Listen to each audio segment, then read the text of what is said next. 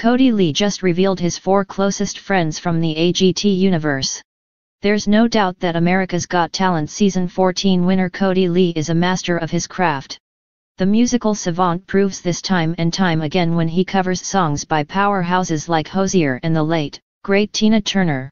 But even for the best in the business, there's always room for improvement, and Lee's learned just that from his fellow AGT alumni.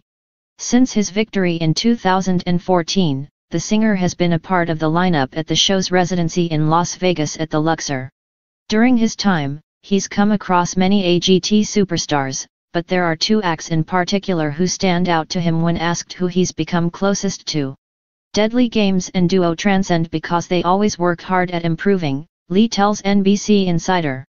Fans will remember Deadly Games, aka Alfredo and Ana Silva, as the knife-throwing duo from season 11 who made it all the way to the semi-finals. They returned for America's Got Talent, the champions. Mary Wolfe Nielsen and Tyce Nielsen are duo transcend and made the finals of season 13. They placed second on champions. Every time we pass them, they are always practicing, and I think there's just a lot of respect for that, and he does the same, Lee's mom, Tina, tells us.